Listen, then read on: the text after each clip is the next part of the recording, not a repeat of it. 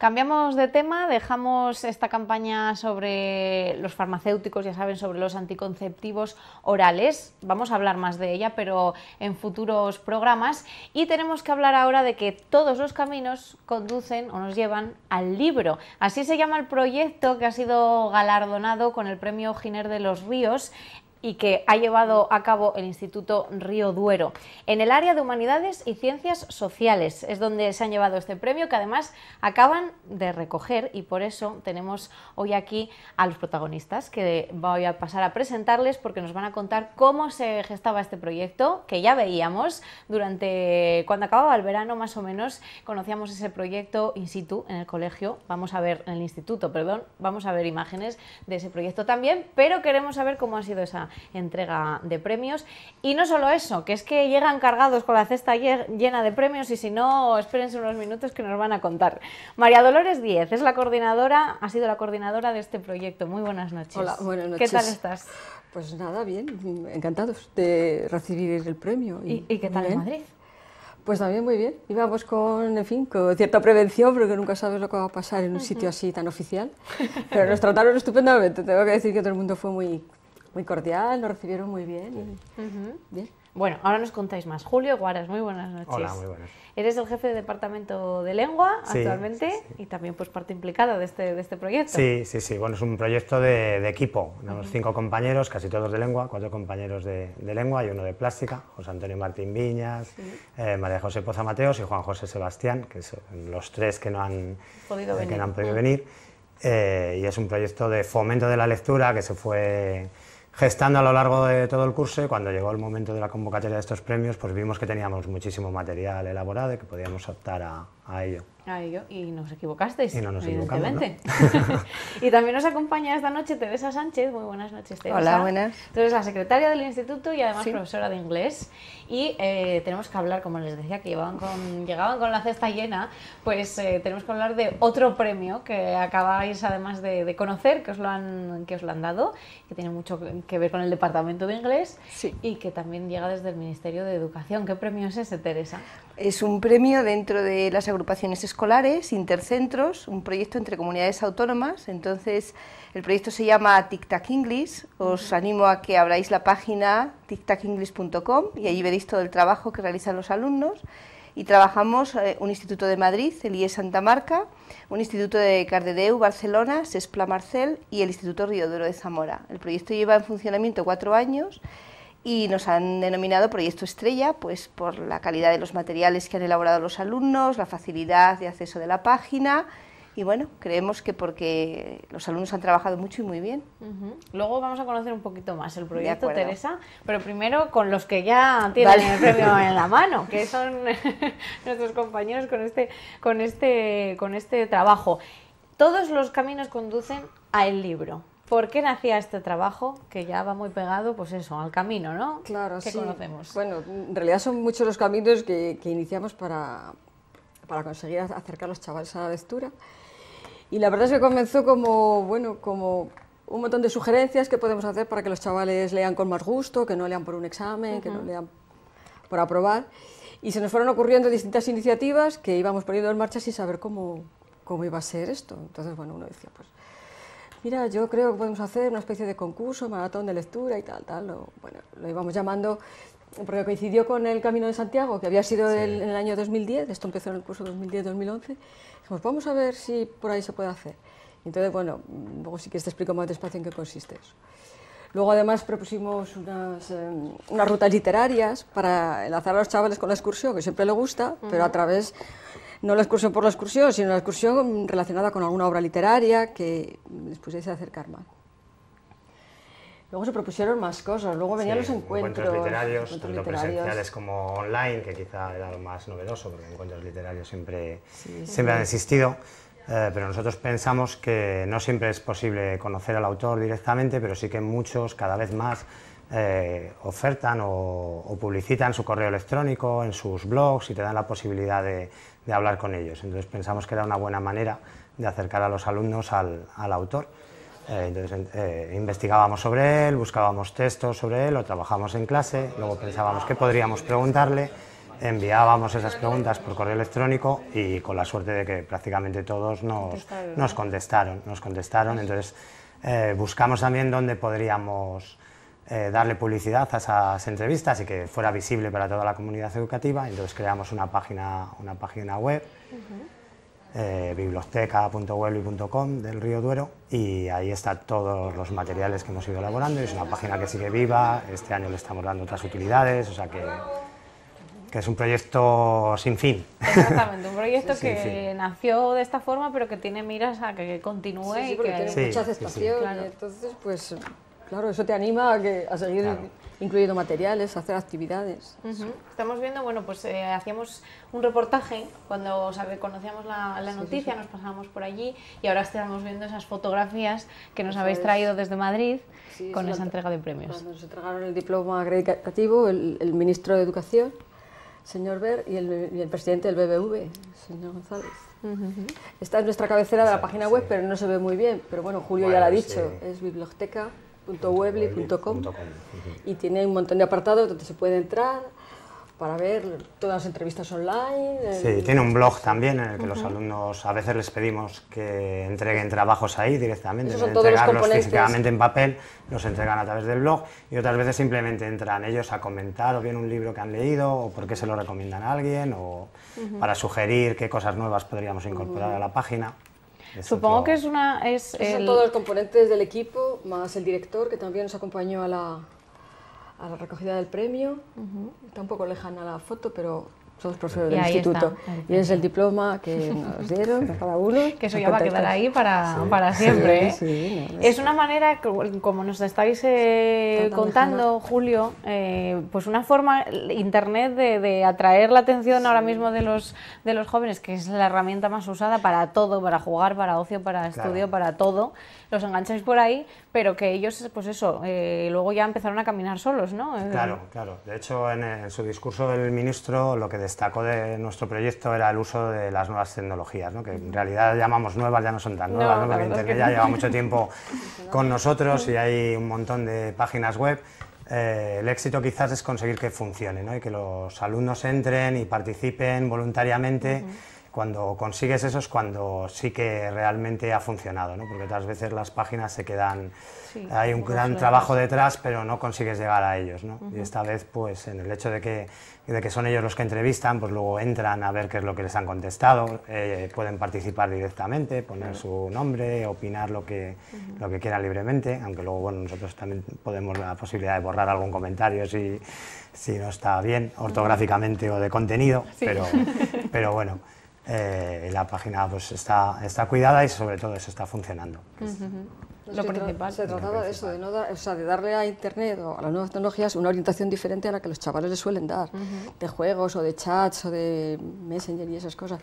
Y entonces, por este lado, la verdad es que ha tenido muchísimo éxito porque entran, pero con una finalidad didáctica para conocer autores, para conocer entrevistas, para conocer comentarios de compañeros sobre libros que van leyendo. Entonces, es una, dimensión, claro, es una dimensión nueva. sí, les insistimos además también que, claro, no es lo mismo escribirle un correo electrónico a un amigo, a un compañero, que puedes cometer alguna incorrección, tragarte Hs, etcétera, etcétera, que escribir a un escritor al que no conoces de nada. Entonces, que había que cuidar qué es lo que íbamos a preguntarle y cómo y de qué manera. Entonces todo eso también es muy pedagógico y a nosotros nos sirve, claro. Y supongo que también el que hayan contestado de esa forma a los autores, eso, vamos, es, acercarte al libro y quedártelo y tenerle ya un amor especial a ese, a ese libro. Estamos agradecidísimos a todos los escritores que, que, participaron, también a la Biblioteca Pública, que nos consiguió los primeros correos electrónicos, porque los encuentros literarios que que organiza la Biblioteca Pública, también hemos asistido a ellos presencialmente y también les pedíamos a esos autores su correo electrónico para, si surgían más preguntas sobre el libro del que nos había hablado, podérselas hacer. Y esos escritores también nos ceden luego el email de otros amigos escritores que dice que pues seguro que te va a contestar, que le, encantaría participar. O sea que que la página sigue creciendo. En realidad nació un poco relacionada con las actividades de la biblioteca pública, porque claro, lo que ellos hacen nosotros no lo podíamos hacer. Los encuentros literarios. Claro, los encuentros literarios, traerte un autor, pagarle un hotel, sí, a lo mejor la charla. Pero claro, mm, la posibilidad de hacerlo electrónicamente era fantástica porque no suponía ningún desembolso y la verdad es que desde los primeros se mostraron súper abiertos y fueron contestando muy bien. O sea que Entendemos, ¿eh? Fue, una manera, de, ahorrar. Nosotros no podíamos traer figuras de, la literatura al instituto, pero sí se pudo hacer a través de ese medio de los chavales. Y las rutas también es una manera de sacarlos y de que nunca jamás se te olvide tampoco aquello que has vivido, que has ido, has visto y ahí Claro, además, bueno, existen, existen muchas rutas que que organiza y patrocina el Ministerio de Educación y Ciencia históricamente, y eso, pero nosotros intentamos vincularlas un poquito a, a Zamora, de alguna manera. ¿no? Entonces elegimos por un lado el manuscrito de piedra de Luis García Jambrina, un autor zamorano al que además le agradecemos que siempre está disponible para el centro, para cualquier cosa que se nos ocurra, eh, contesta casi antes de que le envíes el mail, así que desde aquí nuestro agradecimiento. Y luego un autor zamorano, aunque él no presumiera mucho de serlo, como Leopoldo Alas Clarín, también nos desplazamos a Oviedo para hacer la ruta de, de la regenta. Eh, y claro, son actividades que a ellos también les gusta, a los alumnos, y que además eh, les hace recordar muchísimo mejor la obra que han leído. los escenarios reales, el propio Jambrina nos acompañó a hacer el recorrido de, su novela por Salamanca, o sea que tuvimos un, de guía por Salamanca. un embajador de, lujo. Claro que sí. Bueno, eh, supongo que mm, además de que este proyecto lo habéis puesto en marcha vosotros, todos los alumnos son parte implícita de, él. Supongo que se sienten muy orgullosos ¿no? de haber logrado... Suponemos, porque sin su ayuda no hubiéramos podido hacer nada. Es decir, las ciento y pico huellas, ciento setenta y tantas huellas que hicimos, que conseguimos para llegar eh, al, camino de Santiago, no hubiera sido posible si no hubieran participado, pero no solo alumnos, desde aquí también tenemos que agradecer a los profesores que sin ser de lengua todos nos venían cada fin de semana o cada 15 días con una huella. Conseguimos también de los padres, que a veces son más remisos a participar y también un conserje que tenemos que felicitar a un montón de gente porque sin ello no hubiéramos podido hacer nada, claro. si propones una actividad y nadie te sigue y dices, bueno, pues nada, nos habremos equivocado, pero verdad es que tuvo éxito. Otro de los grandes éxitos es haber conseguido involucrar a toda la comunidad educativa en el, en el proyecto de una u otra manera. Unos porque entran en la página y te dejan un comentario diciendo me ha gustado mucho, otros porque nos traían su huella, he leído este libro para que lo pongáis, o sea que, que funcionó muy, muy bien todo.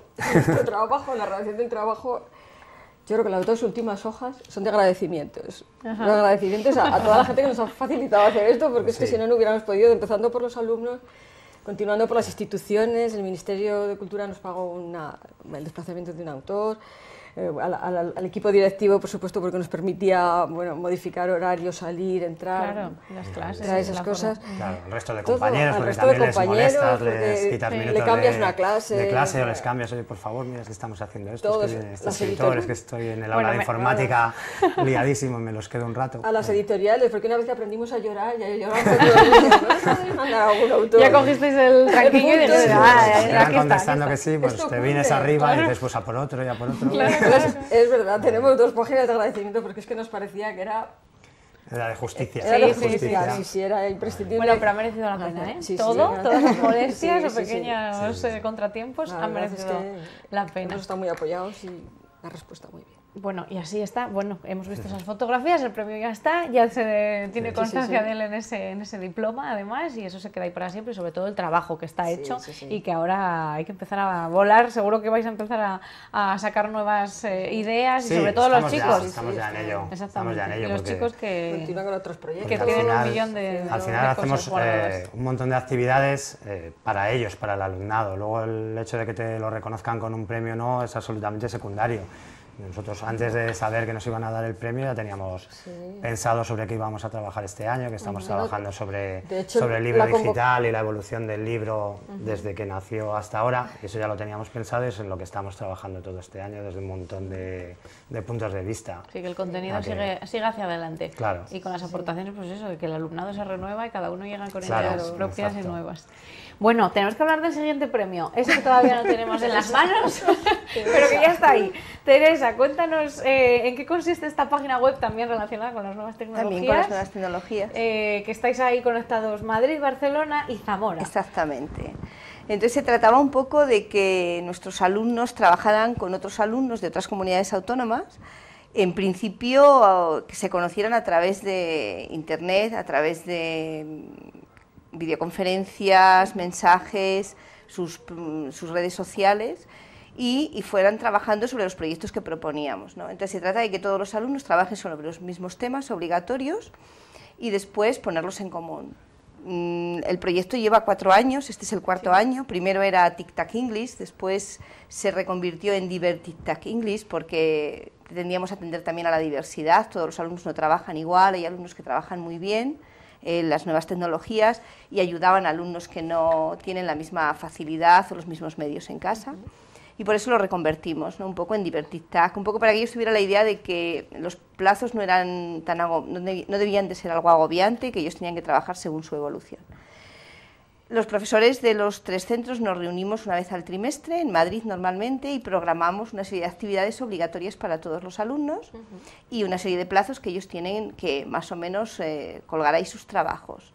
Eh, hacemos puestas en común y obligatoriamente nos vemos en, durante los dos años del proyecto, nos vemos eh, los tres centros en algún momento. Entonces, el día que nos vemos, hacemos actividades propias del proyecto y después, según la ciudad que visitemos, colaborando con otros departamentos del centro, como el departamento de historia cuando vinieron aquí los alumnos, organizamos una gincana para que conocieran la ciudad y estuvieron los alumnos aquí dos días.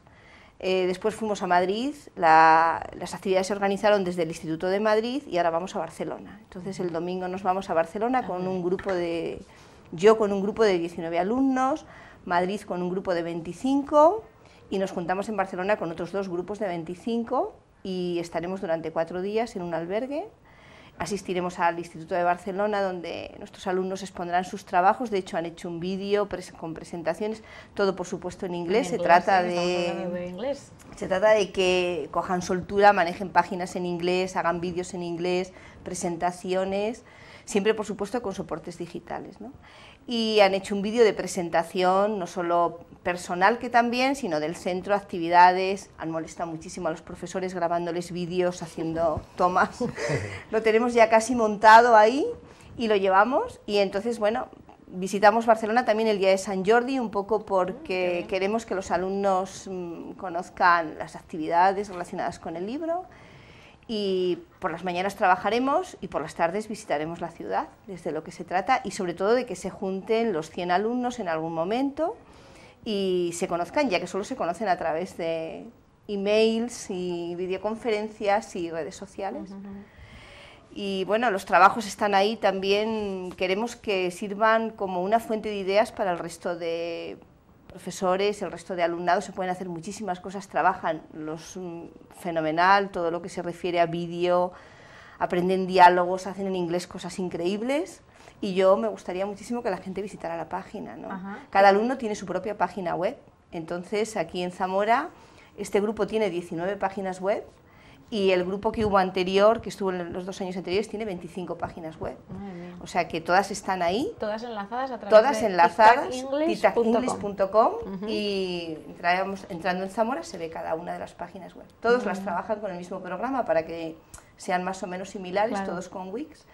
Y bueno, hay páginas realmente asombrosas. Las veremos, Teresa, porque tenemos que contarlo porque lo iremos contando más a fondo. ¿eh? Este proyecto te vamos a volver a molestar. Ya lo siento, ya lo siento. Pero que nos lo expliquéis, pues eso, con las páginas ya en la mano. Enhorabuena. Muchas gracias. Enhorabuena por todo ese trabajazo, que madre mía. Enhorabuena a vosotros, por supuesto. Y Julio, que nos cuente sobre todo pues esos otros dos premios que tenemos que contar de alguien del centro.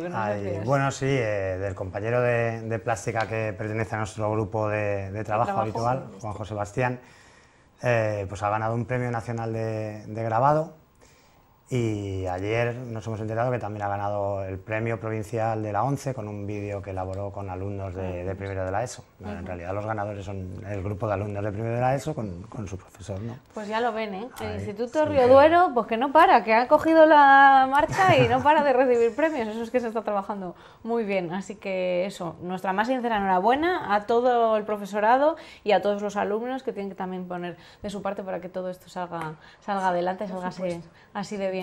Muchísimas gracias por venir esta noche. Y nada, que con noticias así tan buenas, pues oye, ¿para qué vamos a hablar de las malas? Ni preguntamos. Vamos a publicidad y después seguimos con más cositas.